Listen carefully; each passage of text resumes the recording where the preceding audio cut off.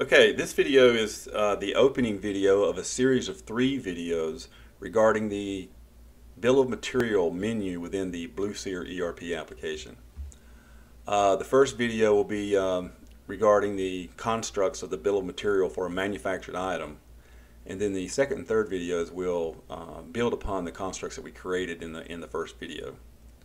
Okay, with that said, uh, this these series of videos are specific to version 6.0. Uh, you can see that here in the title bar.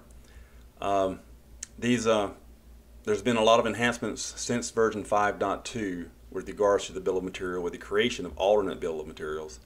And so uh, just to note that this is this video series of videos is specific to uh, version 6.0. Okay, with that said, we're going to go and create the items for our bill of material construct. So we're going to go to the item master. You can type that into the navigational text box here as item. And we're going to create the parent item first. So this is the parent MFG item that we will will be the uh, the host of our bill of material. Okay, uh, you have to set the type class M as manufactured. And then you also have to choose a routing. Now we're going to choose the default routing which comes with the uh, download of BlueSeer. It's just a sample routing that has operational, fictional operational costs of uh, labor rates, dollar uh, burden rates, etc. Okay, then we're going to click add and then we're going to create the subassembly part. So this will be a subassembly that resides within the parent manufactured item that we just created. It too will be a manufactured item and it too will have a routing. We're going to choose the same routing as the, uh, the parent uh, just for uh, demonstration purposes.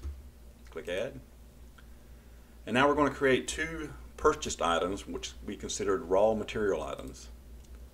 So raw material purchased item 1. And this will be class P and you will have to set a purchase price which will be the same as the material cost. So purchase price here of $1.33. When you tab out you'll see that the material cost is uh, created as well. now note the purchase price and material cost for a purchased item is exactly the same thing. And then we'll click add. And we're going to create one more purchased raw item. Number two. And type class P We're going to set this price to uh, a dollar thirteen. Click add. And now we have all four items created. Now we can actually look at those items from uh, the item browse, uh, type item B in the navigational text box, click run, and you will see the, the two manufactured items we created and the two purchase components we created. Uh, okay, now let's create the bill of material. So now we go to the bill of material program, which you can go to from inventory, BOM menu, BOM maintenance, or you can just type in BOMM in the text in the text box.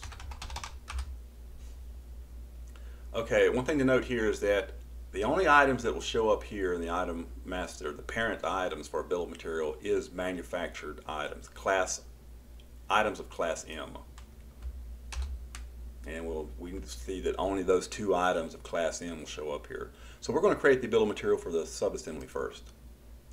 Alright, there is no BOM found. This is the first uh, creation of a BOM for this item. So uh, we'll click the button there. And the BOM ID for the default is typically the same as the item number. But you can change this BOM ID to whatever you, you, you, you like. Okay, this is a subassembly BOM. And we're going to choose one of the raw purchase components here.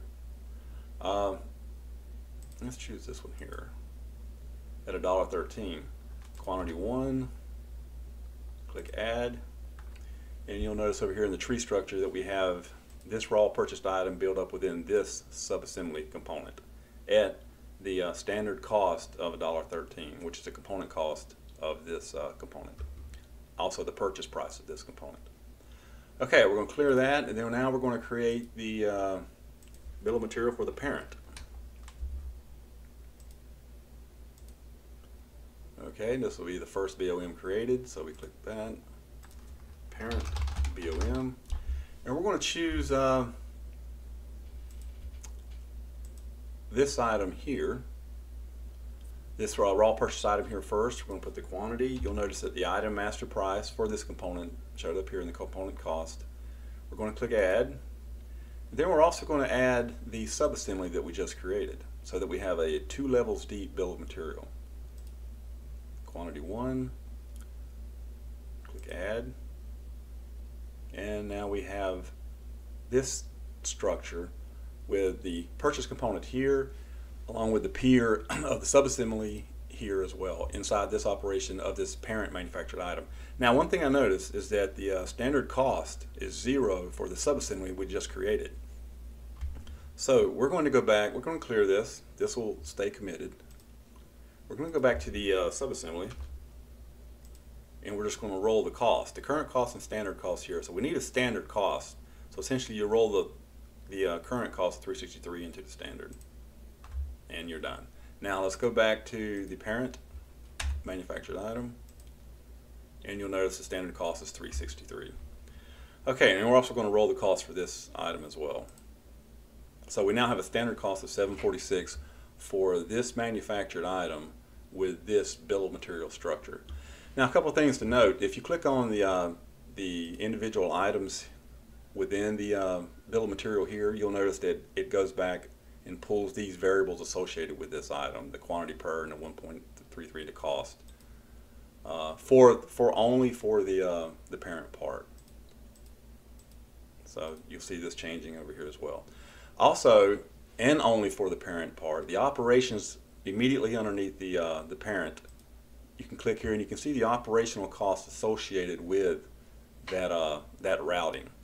Uh, and this essentially gives the standard rates for the, uh, the default routing that we, uh, that we assigned this manufactured item to.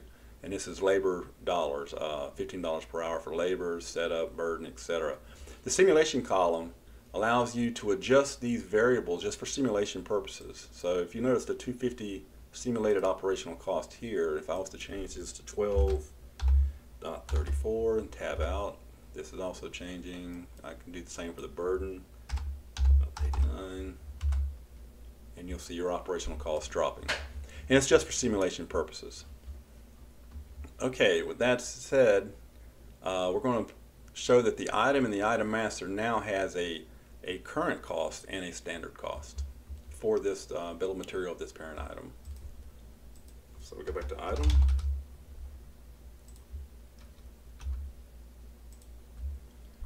And go to cost and you'll see the current cost of 746 and the standard cost of 746. So you have both cost structures that are essentially the uh, rolled cost of the bill of material within this uh, this this structure here.